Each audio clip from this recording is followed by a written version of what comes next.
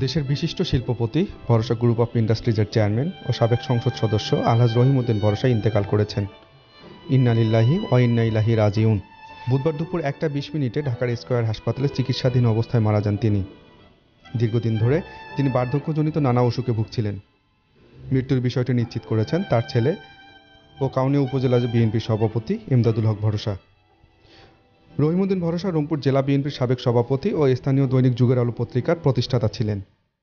রহিমউদ্দিন ভরসা উনিশশো চৌত্রিশ সালে রংপুর হারাগাছ এলাকায় জন্মগ্রহণ করেন। তার পিতা মৃত মনের উদ্দিন পাইকার। Update news Rangpur.